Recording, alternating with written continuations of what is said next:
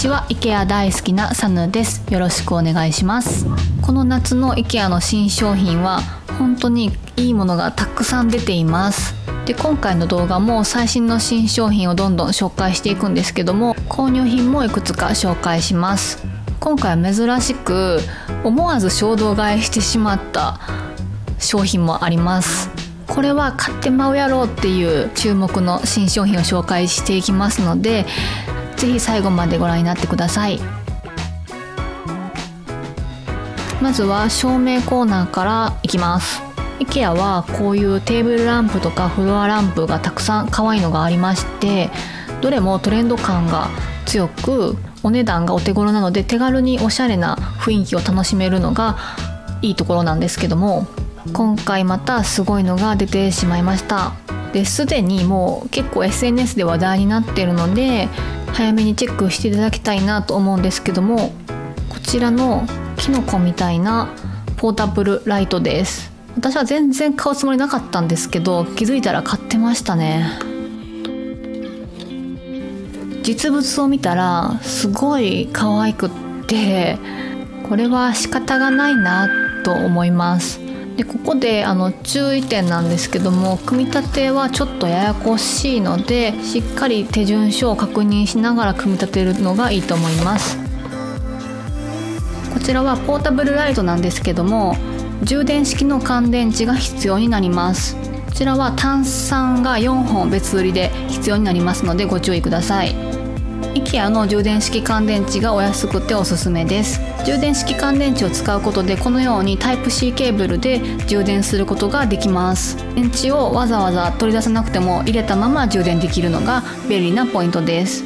プラスチック製ですので非常に軽いラインプになってます。安っぽいかなって心配してたんですけども、まあ、プラスチック製で軽いのでこういう飾り棚とかにもあの置きやすくてかえって良かったかなと思いました。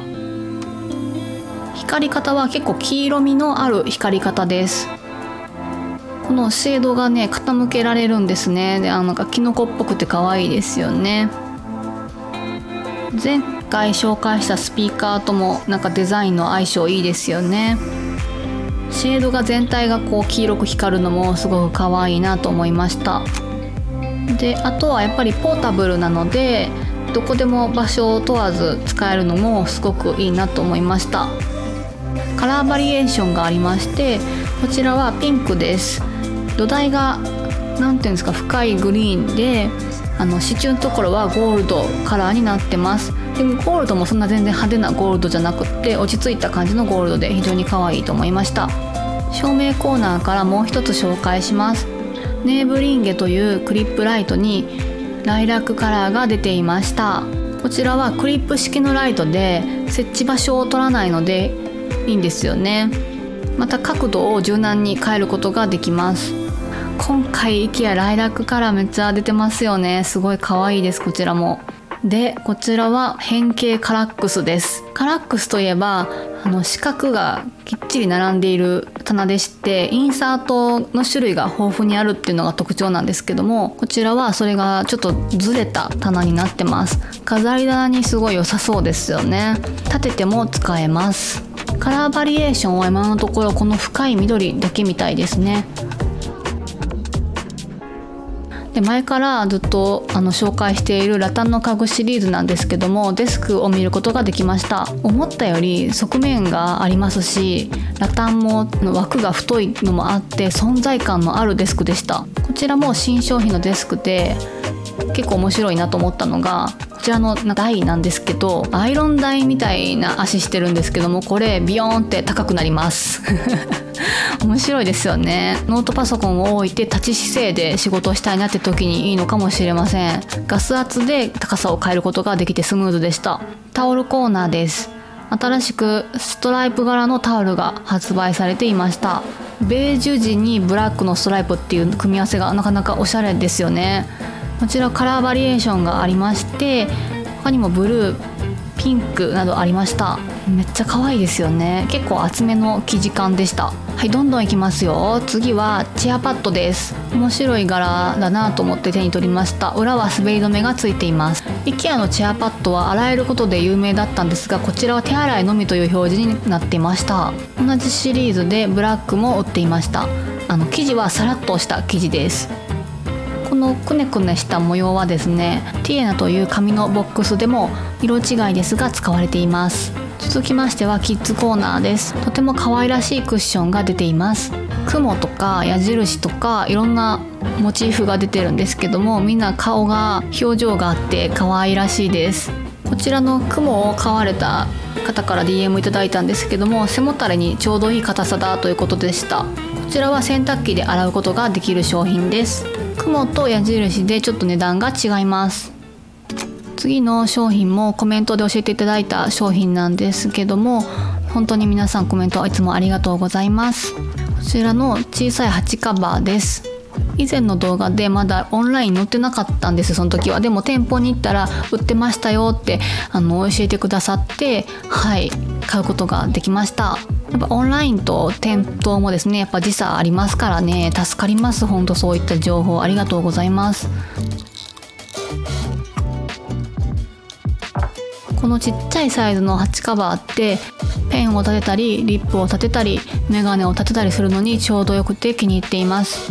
もちろんミニサイズのグリーンを飾っても可愛いです。左の白いコロンとしたハチカバーも IKEA の商品でとても気に入っている商品の一つです。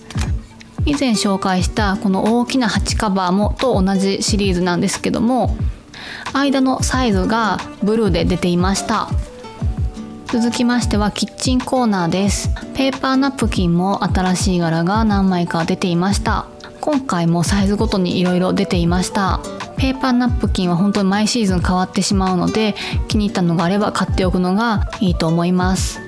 IKEA では大変人気のあるグラデリグシリーズの食器で新しくプレートが出ていました。このシリーズ本当人気ですよね。本当使いやすそうですプレートも。間違いないやつです。で続きましては購入品なんですけどもこちらフライパンです。私もここ2年ぐらい愛用しているヘムコムストシリーズの新商品が出てましてフッ素加工じゃなくなったそうなんです。セラミックコーティングフライパンということで購入してみました。今回は大きい方のサイズを購入してみました。ヘムコムストシリーズはま、以前のもすごく使いやすくって気に入ってるので間違いないなと思って買ってみました。デザインは全く同じだと思いますね。手洗いのみガスコンロ対応 IH コンロ対応オーブン使用かなどのマークが書かれています。本当デザインがまずかっこいいんですよね。まだ数日しか使ってないのでまだ使用感っていうかちょっとまだわからないんですけどもまあ、もちろんまだ新しいんでスルンスルンでございます。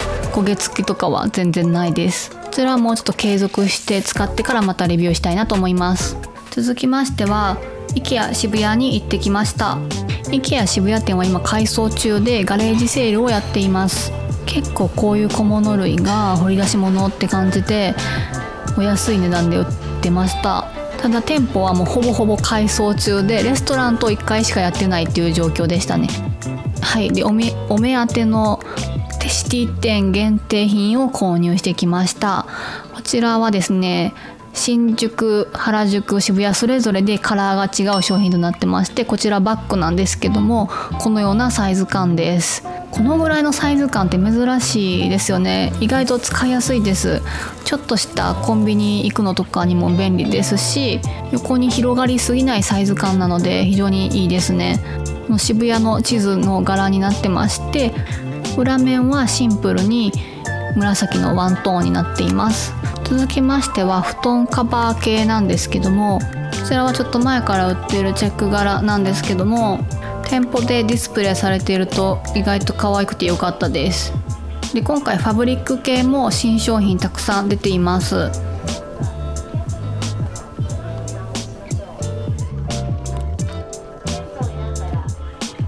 ちらのストライプの柄もそうですね。でちょっとね買おうかなと思ってたんですけど逆に実物見て買わなかったっていうのがこちらなんですけどもこの格子柄のやつがですねあの両面白でいいなと思ったんですけども線がね実物見たらブルーだと分かって買うのをやめました。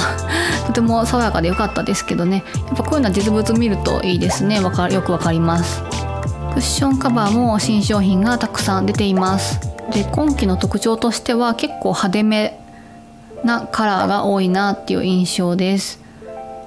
この見てください。この猫ちゃんなんてすごい派手ですからね。